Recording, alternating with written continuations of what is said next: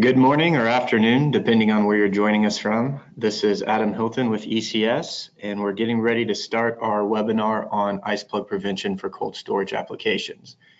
Uh, before we get started, a couple housekeeping items. Um, due to the number of attendees, we're going to keep everyone on mute. If you have a question, please feel free to submit it through the question uh, portal on the GoToWebinar functionality. We'll be answering all questions at the end of the seminar. For those of you who have to drop off before we get to questions, we'll be capturing the questions and answers and distributing that to the uh, list of registry, regist registered attendees. Uh, we're planning on a, presenting for pretty much the full 30 minutes. We've got a lot of material to cover. And with that being said, we're going to go ahead and jump in.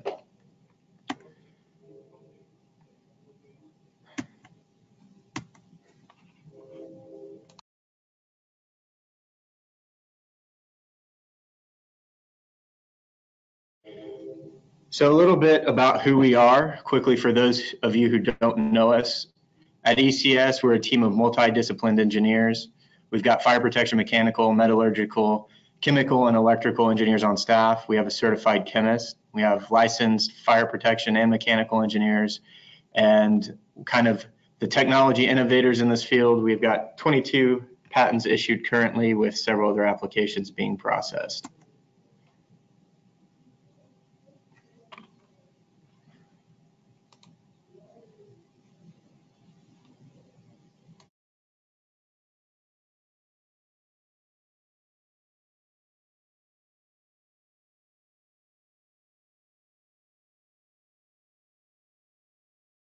Apologize for that. We seem to be lagging going from slide to slide here, but what we're going to cover today is industry guidelines. So it's important to know what's telling us what we have to do, how we have to test, how we have to design, and how we have to maintain these systems. So we're going to cover NFPA 13, we're going to cover NFPA 25, and then the FM datasheet 8-29, which deals with refrigerated storage. We're going to touch on the current technologies that are available for these refrigerated areas, which would be our dry air pack or regenerative desiccant dryers, nitrogen-based systems, and the newcomer to the field, which is vacuum-based systems, uh, VacTech by Fireflex, for those of you who have or, or have not seen that. And then kind of what will fall out of the presentation is what are best practices in this segment of our industry and how can we make sure that we're meeting the requirements and getting the best process that we can.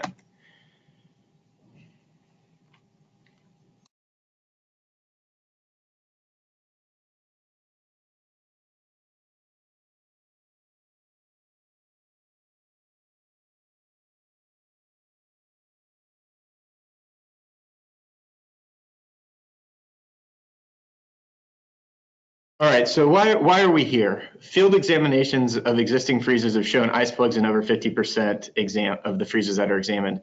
And that's straight out of our FM property loss prevention data sheet 8-29. So what we can kind of garner is, is an industry, what we've done so far and what we're doing is not producing the results that we're intending it to produce. So whether that's the systems that we're using, the processes that we're using, or the maintenance procedures, we're not getting the ice-free pipe networks that we're aiming for. And that just as a general side note, as you see throughout the presentation, that little eye inside the green circle, that's going to be little little information pieces that uh, aren't necessarily directly out of a standard. They're kind of observations or best practices uh, that we've come across. So with our first piece of information there, ice plugs were generally found within the first 15 feet of the pipe inside the cold storage environment or envelope. And that's because as that moisture laden air is entering that colder environment, the moisture is just dropping out and then freezing against the pipe wall where it where it's coming in contact with the pipe.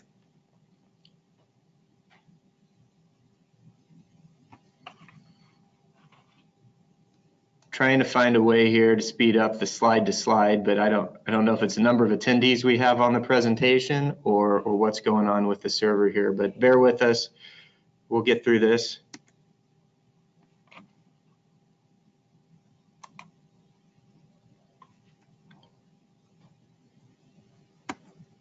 All right, so starting with, with our first standard that we're going to look at today is NFPA 13. So most, most of the attendees here are probably familiar with it. For those of you that aren't, this is our standard for installation of fire sprinkler systems.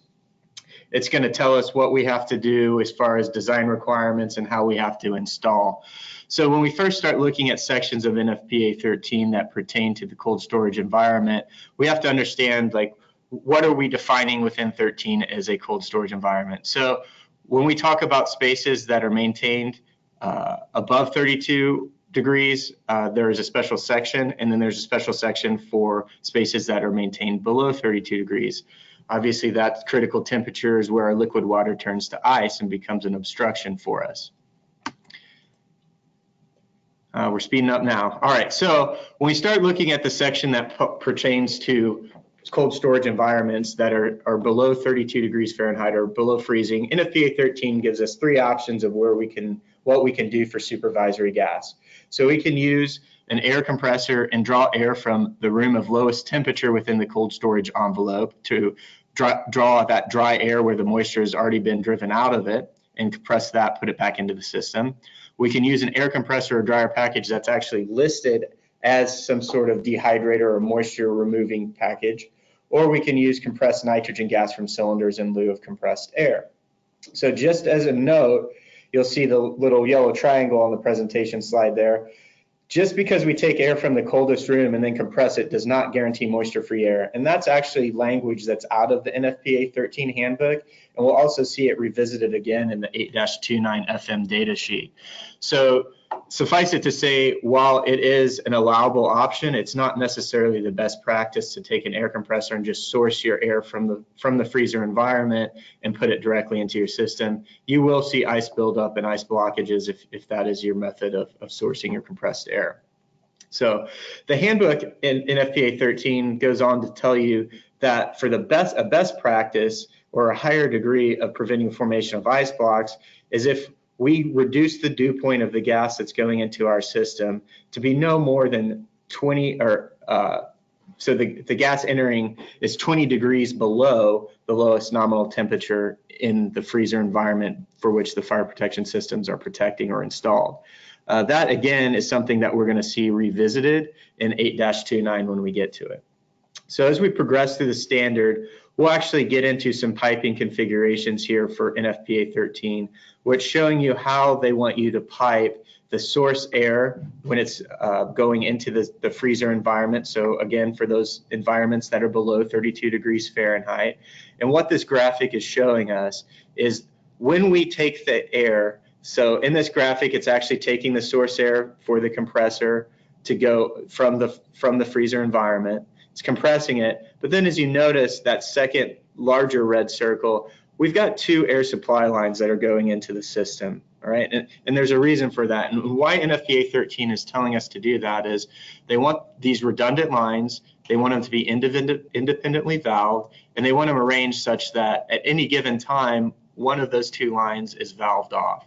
And the reason behind that is that way you can go in, if you do have an ice plug, you can valve off the plugged line, open up your bypass line or your secondary line, and then clear the obstruction from your primary air delivery line. The other reason they have you routing it through the freezer is as soon as that, from, from the previous slide, we know that as soon as that moist air gets into that cold environment, the moisture is going to drop out and we're going to form our ice plug. So by doing this, the idea is we're going to drop the moisture out in these redundant air supply lines before, if you notice, it routes back out of the freezer and into our into our fire protection system. So it's kind of like an added protection. If we are still having moisture that's going to drop out in our supply or supervisory gas, we're going to drop it out in one of these two redundant legs where we can deal with it much easier and it won't be impeding the water flow into the system.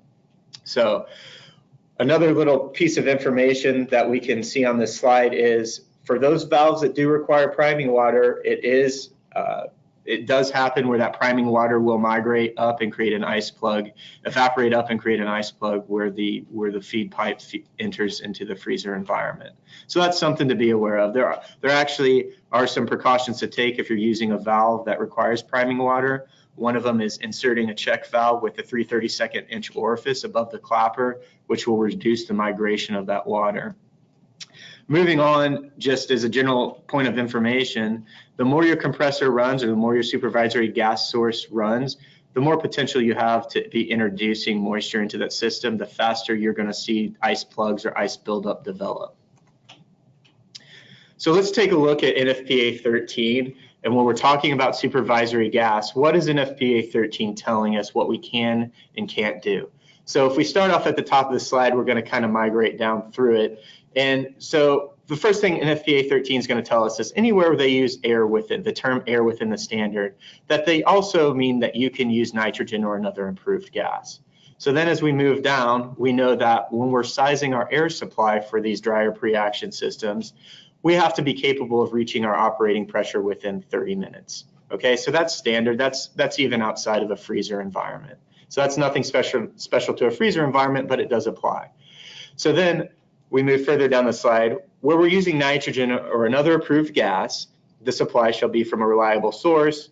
If we look to the appendix to kind of elaborate on that for us, we'll notice that they tell us nitrogen can be, or the other approved gas can be either generated on site or from storage containers such as a nitrogen cylinder. So what we wanted to show here is, is how you can get through the standard and how nitrogen generators are applicable in this instance and allowable. Another general point of information, and, and we kind of find as we talk with people that some some people are unaware of this point uh, section 7.2633 in the standard. And what that tells us is if we are in a, a, freezer environment where we're maintaining a temperature below five degrees Fahrenheit, we take that 30 minute requirement to get to supervisory pressure and we actually expand it to 60 minutes. So we did want to point that out for those that are working in or operating in environments where we're below five degrees Fahrenheit. We do take that 30 minute requirement to get to supervisory pressure and expand it to 60 minutes. So that affects the size of either the, the air dryers or the nitrogen generator that you're putting in. So that pretty much sums up what we want to look at in NFPA 13 as it pertains to refrigerated systems. So now we want to move on to NFPA 25. And so for those that aren't as familiar with NFPA 13 and 25, where 13 is telling us how we have to design and install the system, 25 is going to tell us how we have to inspect, test, and maintain our system. So as we migrate from we have an installed system, it's been accepted, and now we're in an operating facility, what do we move on to do to ensure that our system is one, maintain compliance with the standard, but two, really operating in an, in an optimal condition. So when we start looking at what kind of inspections that we need to do on these freezer systems, we want to see that we have to just visually inspect the system. But what we want to point out here on number five of section 52111 is that we're looking for what they term loading detrimental to sprinkler performance. In the freezer environment, what we're really looking for is there any ice buildup on the sprinkler that is going to impede the functionality or the performance or the spray pattern development, basically make that sprinkler perform undesirably or not as intended. So that's important for us again in the freezer environment because we're gonna we're gonna have this added obstruction or added loading um, that that a non-freezing environment wouldn't have, which would be the ice buildup.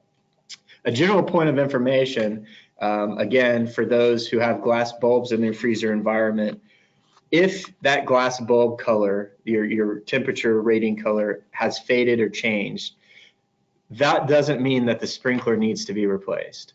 So the testing has been done that shows that in some freezing environments, some of these glass bulbs, the color will change, but the testing shows that it does not affect the operation of the sprinkler and the sprinkler can remain in service. So again, maybe a section of the standard that people are not familiar with, but we thought it important to go ahead and point out. As we move in uh, deeper into the 25 standard, we're going to look at the refrigerated spaces and areas within the building interior where temperatures are maintained at or below 40 degrees they're not permitted to be left wet. You know, maybe that seems like an obvious obvious point to to those of us who operate in these environments, but they do have it in the standard there. So any temperature below 40 degrees, we can't leave these systems wet. So if you just had a cool storage environment, even though it's not freezing, we can't leave water in those systems. Moving through the standard, air dryers that are maintained shall be maintained in accordance with manufacturer's instructions. Again, expected, we do expect to have to maintain this equipment. The standards just going ahead and saying, yes, if we don't cover it in here, if it's not covered in NFPA 25 specific maintenance procedures, go ahead and consult your manufacturer's operation or maintenance manual to see what you need to be doing, what you need to be testing, and what your replacement parts are through the life cycle of the piece of equipment. And then again, compressors used in conjunction with dry pipe sprinkler systems shall be inspected as per chapter 13, which would be a compressor inspection that you would have to do for any dryer pre-action system. For those of you familiar with the standard, you will notice the chart there towards the bottom of the slide. NFPA 25 has excellent resources within it to show you really break down what considered what's considered an impairment, what uh, what frequency we have to be testing these things. So that's really too much information for us to cover in the presentation today. But know that that's the resource. If you have any specific questions, feel free to reach out to us. We're definitely happy to answer them. So moving on to chapter 13 of NFPA 25, we're going to talk about pre-action and dry pipe valves. So the first two sections of the standard there that are cited on the top of this slide are telling us that when we trip test these systems, so when we're doing our required trip test, we're, we're making sure our valves releasing as, as required we don't want to introduce any moisture into the piping in the freezers. So when you look back through some of those installation diagrams and when we get into the data sheet 8-29 from FM, what you're going to see is a recommendation is to put an indicating valve on the top of the riser or above your dryer pre-action valve such that you can close it and trip your valve against it. That way we can verify the functionality of your dryer pre-action valve but we're not putting water or moisture into the pipe network that we're going to have to go chase down, get out. And let's be honest, we all know for those of us who operate and open these systems up, trying to get water out of a system that's that's been hydrostatically tested or trip tested is a very very hard endeavor uh, to to do. So the last section on here on this slide is an interesting section, and it's definitely a best practice, and that is putting a, an, a gauge, an air gauge, on two air gauges on your dry pipe or pre-actions air supply system. And what we want that to do is, is if we remember our previous slide where we take our air supply piping, run it into the cold envelope, and then run it back out, we want to gauge on on both sides of that. So before it enters and then after it enters. And what that allows you to do is a quick visual check to see if you have some sort of obstruction in that airline. So if you were to take those two gauges and look at the gauge that's on the airline between the compressor and where the airline enters the cold storage environment, and that pressure were to be higher, say, than the gauge that is on uh, where the where the piping exits the cold storage environment or the cold envelope, then that would be an indicator that you have an ice plug or some sort of ice buildup impeding the flow of, of supervisory gas into your system and let you know that you need to go pull one of those spools of pipe out, put your secondary air supply line in service while you clear the ice blockage and then re return the return that line to service. So moving on to the next slide, we're going to talk about the specific section in NFPA 25 that deals with ice obstruction. So that's that's section 14.4. Um, being told that the slides are cut off for some of you, and I'm not sure where or how. So again, we can we can make the slide deck available after the presentation. We'll try to deal with that as we move through. Uh, but my apologies if some of you are, aren't able to see the entirety of the slide. So so back to section 14.4. So what that's telling us is ice obstructions as an industry, we know they happen. The standard knows they occur. So what do we need to do about them? It's telling us we need to, in environments that are maintained below freezing, we need to inspect internally on an annual basis. So that means opening up the system, The places we're going to want to be looking is definitely right as the, the water, the sprinkler piping enters into the cold envelope because again, from the previous slide, we know that these, the ice buildups typically are forming, that are forming from, from the supervisory gas that's moving into the system are forming within 10 to 15 feet of in, the pipe entering into the cold storage environment. Now, other places we probably want to look are any, any, any water traps in the pipe, any drops in the pipe, uh, like in-rack systems, things like that, where if water was to enter the system, say in a trip event that didn't get cleared out or, or didn't get cleared out before it froze up, um, th those are the areas we want to look. But it's interesting to note the blue text that we have on the slide here. The handbook goes on to say that they changed the wording a little bit and, and, they're telling us that these ice obstructions should be conducted regularly. And so you see the, the, the term regularly replacing annually. So again, annually is what the 25 standard is going to require. Best practice might be to look semi-annually or even quarterly in key areas just to make sure you're not getting an ice buildup. And then again, in that 14.4 ice obstruction section, they're telling you to look in the penetrations, uh, um, if, if you do find the ice obstruction, then additional pipes shall be examined to ensure that you don't have a larger problem uh, that's more pervasive throughout the pipe network. So moving to the next slide, picking up a little delay.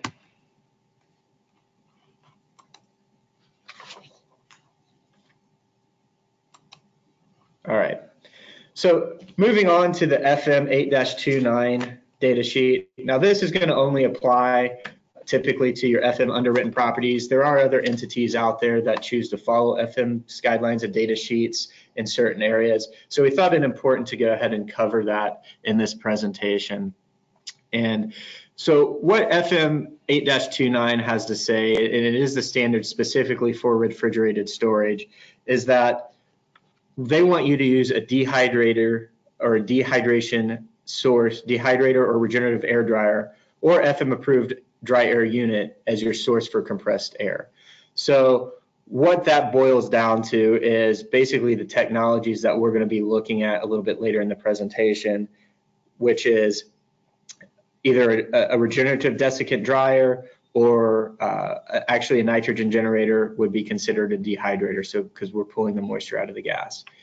Dry pipe systems, need to be pressurized as described in their data sheet 2-0, which is again their standard just for, for water-based fire protection systems. And pre-action systems, we want again the same thing as the dry pipe systems. We want to bring the air through a through a adequately sized dehydrator. So this is the graphic that I was alluding to earlier where you see the big red circle. That is your indicating valve that we blocking valve, trip valve, what, whatever you call it, and call it different things in different parts of the country.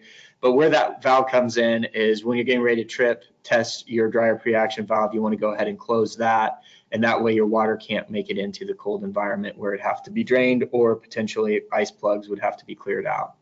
So FM is going to tell you the same thing that the best practice of NFPA 13 is going to tell you, which is you want a dew, point of 20 degrees below the lowest nominal temperature where the fire protection systems are serving. Again, that's a best practice. They're going to tell you they want you to take the air from the freezer with the lowest temperature, and they want you to feed the compressed air through duplex lines like what we were seeing in our earlier standard NFPA 13. And then the last bullet point is the check valve or the blocking valve that we talked about previously.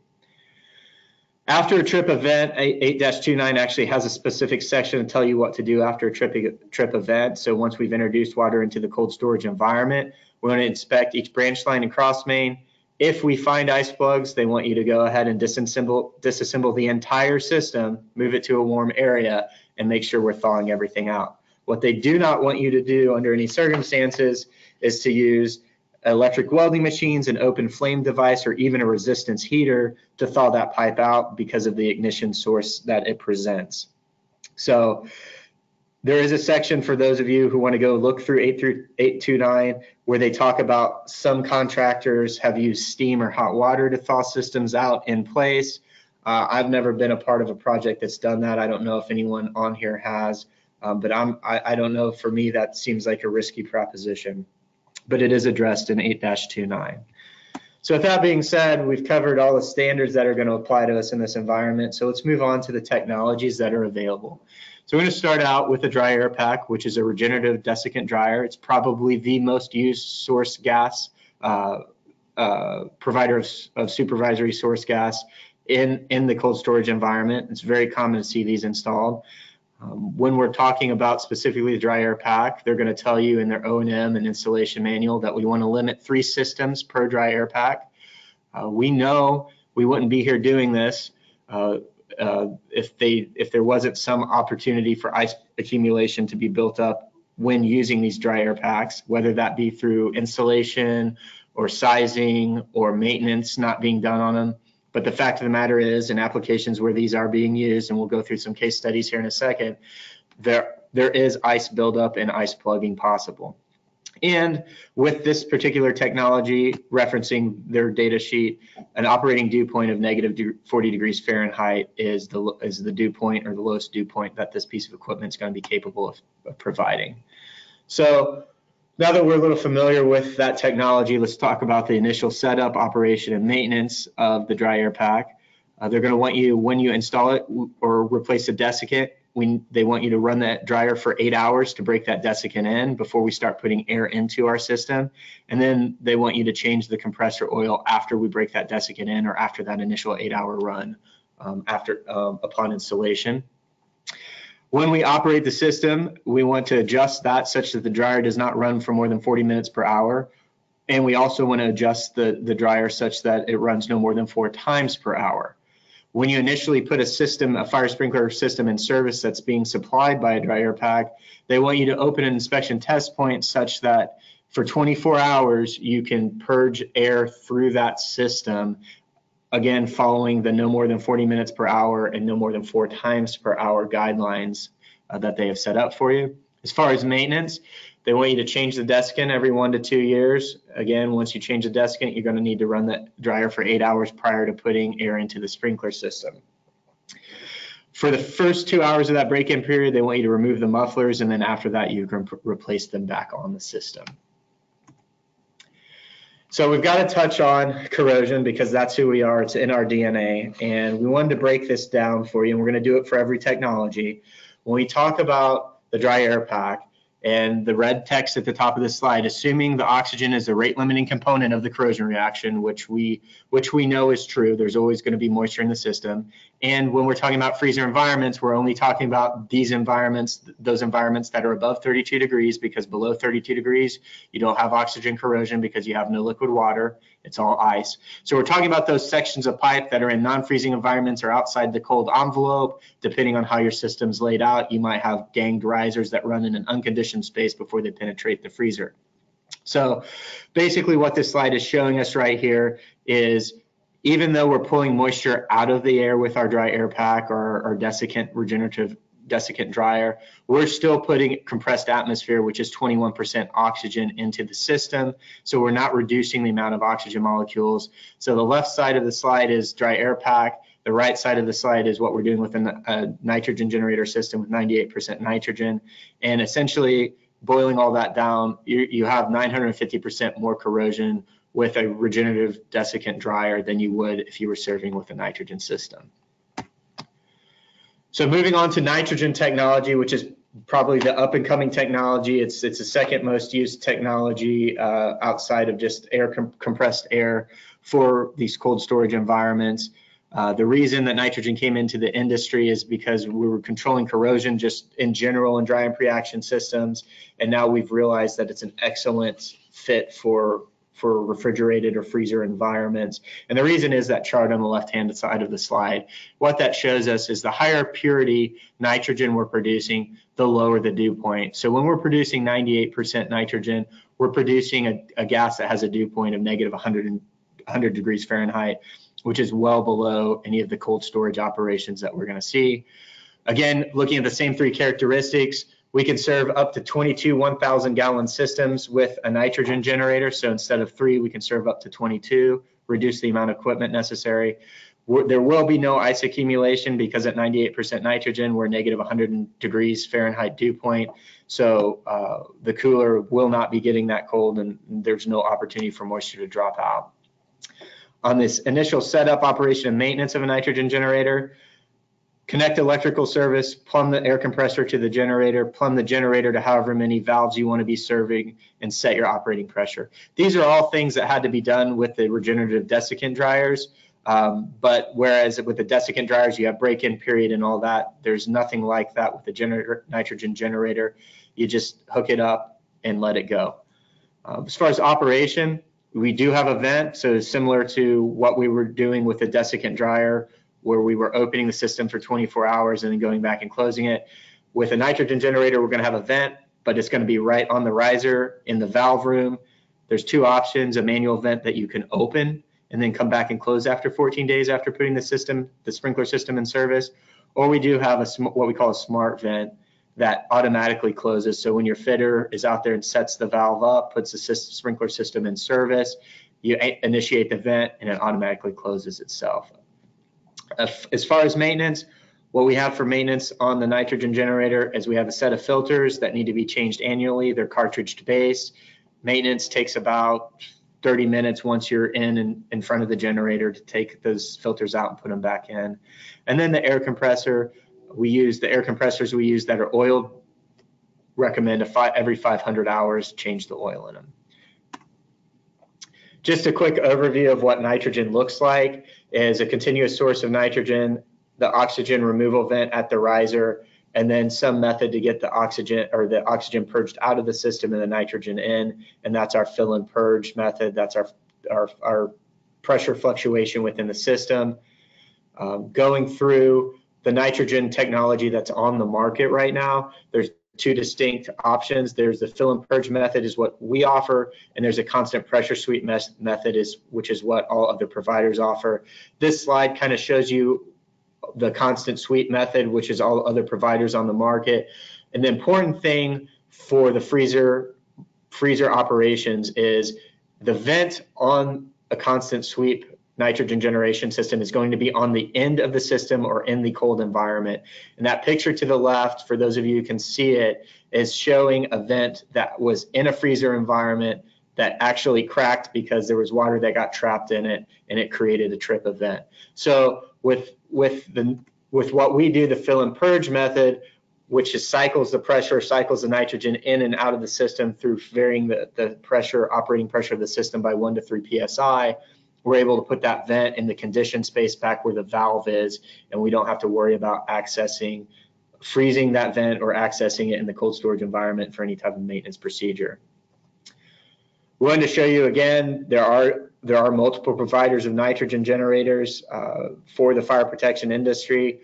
All those that you see on your screen right now are all FM approved. There are other options out there. Uh, some of them are not FM approved. I do caution you to make sure you know what you're buying and ask that question. Um, really, the big difference in, in, the providers that are out there uh, is the amount of equipment it takes to accomplish the same job. So whether you need a nitrogen storage tank or refrigerated air dryer, where your vent's located, things like that. Um, again, we're just covering this at a high level today. Any questions that anyone has, please feel free to contact us. We're more than happy to answer them. Of course, uh, other providers can answer questions as well. So that brings us to the newest technology, um, I don't know how familiar many of you are with vacuum systems. Fireflex has introduced a package called VacTech. It operates on the principle of creating a vacuum inside of the pipe network instead of a positive pressure environment to supervise the integrity of the piping system. Um, some the same three key points that we want to look at that we looked at with the previous technologies are one unit per system. So you have a vac, Fireflex VacTech unit for every single system inside that cabinet, you're going to have a valve, you're going to have all your trim work and the, and the vacuum unit along with its controller. We think, although we don't have a wide base uh, of empirical field installations to draw on, we don't think ice buildups are likely with these systems simply because uh, it's running a vacuum instead of a positive pressure pressure environment, and the air that will ingress into the system is going to be coming from the freezer. And your dew point will be slightly below the freezer dew point because we're drawing gas from the freezer and then putting a vacuum on it or lowering the pressure, which would lower the dew point. Again, initial setup, operation, and maintenance we want to look at with this technology. We're going to set the cabinet. It is a prepackaged solution. So connect electrical service, connect water supply inlet, water discharge outlet, and then any of your electrical de detection connections that you need to make. Set your operating pressure. Operation, you just activate your control system. It's all integral to the cabinet. As far as maintenance, it's unclear. I actually attended their presentation at this uh, past year's NFPA Expo good presentation. There's just not a lot of information out available right now. Um, so we don't really know what the maintenance looks like. You can definitely contact Fireflex. I'm sure they will be happy to explain that to you.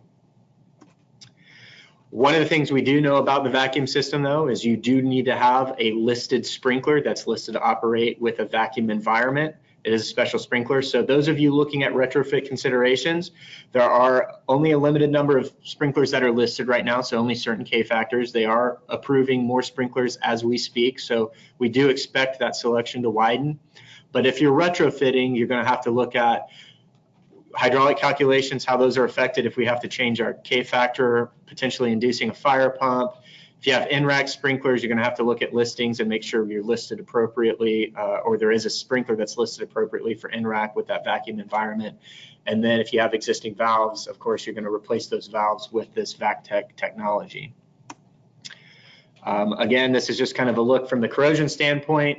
It's very similar to the desiccant dryer. It's similar to uh, just feeding with an air compressor because you're just drawing in atmosphere through the leaks in the system because we have a negative pressure inside the pipe network. So it'll pull atmosphere in, which again is 21% oxygen. So it's the same amount of oxygen molecules.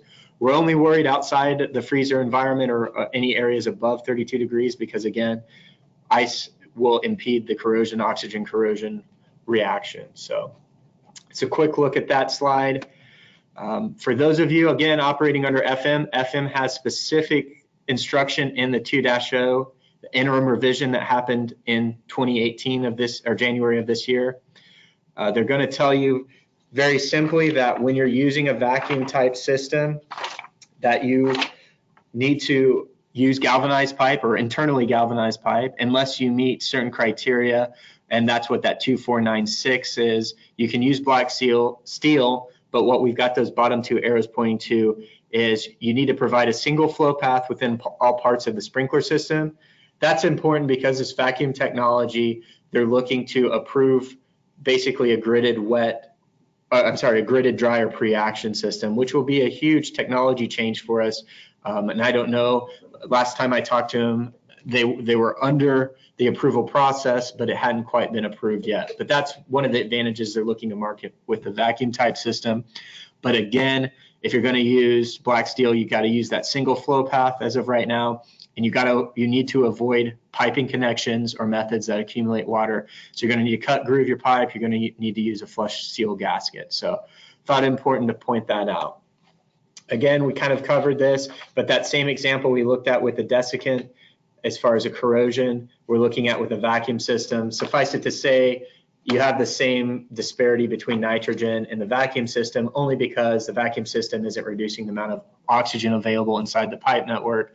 So we're not reducing the corrosion rate.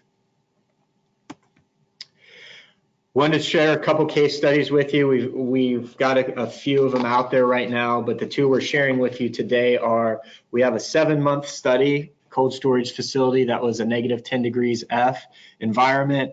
It was a single pre-action system. The supervisory gas uh, was, or for the systems were provided by uh, single interlock is what that bullet point is supposed to say. Supervisory gas provided by multiple dry air pack units. It was under a quarterly inspection, and they were constantly finding ice plugs during their quarterly inspections, with, which led them to us. What we did for them was replace their dry air pack with a nitrogen generator and uh, their subsequent two quarterly inspections, they found zero ice or frost accumulation. So for them, it was an excellent solution. It was an immediate payoff and immediate result that they could observe. The second case study we have to share with you has been running for um, a little over two years now. It's a much larger environment. We're talking about a million square foot facility. Uh, they had eight dry air pack units installed. They were under an annual inspection program. They were finding ice plugs consistently on their annual inspection. Uh, so what we did for them, they also, they believed that the, the reason they were finding or getting subpar performance was just because they weren't keeping, they could not keep up with the dry air pack maintenance. Uh, they felt it was cumbersome and costly. And so what we did for them is we took half of their facility and, and replaced their dry air packs with nitrogen generators. And for the next, the, the past two annual inspections that they've done post putting the nitrogen in on the systems that have had the nitrogen, they have had zero ice accumulation, zero frost accumulation. So again, it was a great fit, showed immediate results, but th- importantly in this case study, it showed sustainable results with nitrogen over a regenerative desiccant dryer. So right now, what we want to show you, which uh, part of my slide's missing here, but quick recap between dry air pack and nitrogen generator. It's the dew point of gas we can achieve is much lower with a nitrogen generator. The number of systems we can serve is much higher with the nitrogen generator, which is going to reduce your operation, installation, and maintenance costs. And then the maintenance, breaking into the maintenance of itself, the nitrogen generator is a much simpler maintenance program. Um, for those of you that are operators or servicing the, the dry air packs or any regenerative desiccant dryer, highly recommend if you're not on a service program, maintenance service program, that you get your people on that immediately because it makes a big difference in the operation of these systems. Oh.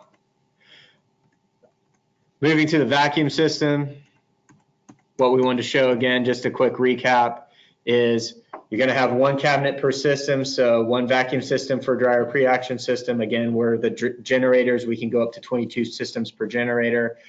Uh, vacuum, we're likely to prevent your ice accumulation. You're going to have the same O2 content, oxygen content as atmosphere.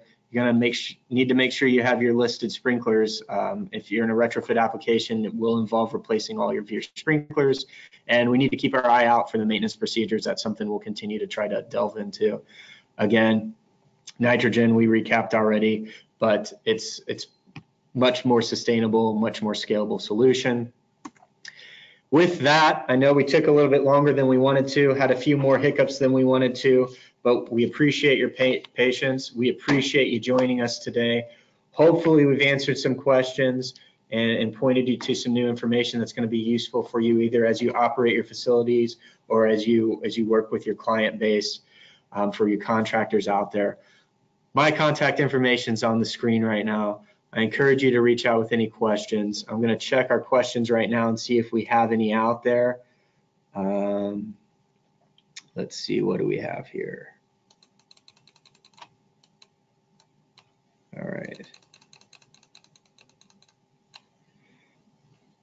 All right, so the right side of the slide was cut off.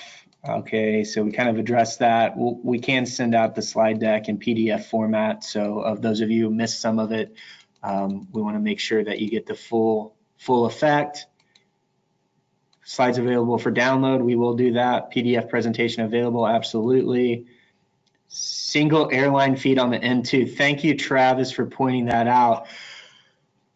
NFPA 13 does tell you when we are talking about those dual air feeds that route through the cold storage area, if you're using nitrogen as your supervisory gas, you don't need to do both of them. You can go to a single air feed. So great question, Travis. Thanks for pointing that out. So with that, it looks like that's those are all the questions we have. If you think of a question, please send it to us. Uh, as questions come in as a result of this webinar, we will make those available to the attendees uh, so that everyone's getting the same information. But again, thank you for your time and we appreciate you. Reach out to us if you have anything else that you want us to talk about. Have a great day.